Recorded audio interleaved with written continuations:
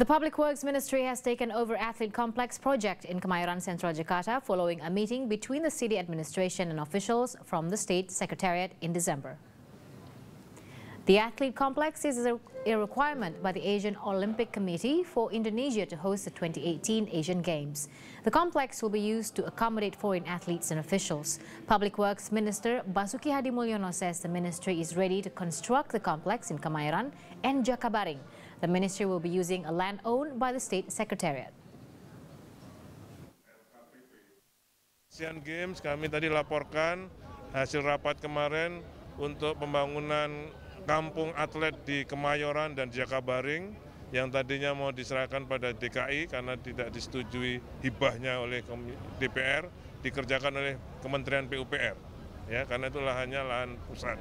Jadi kami akan bangun 10 tower di Kemayoran dan 5 tower di Jakabaring. Itu akan kita tender nanti minggu depan. Nah, sehingga nanti tanggal 9 Maret bisa tanda tangan kontrak, Juli 2017 selesai.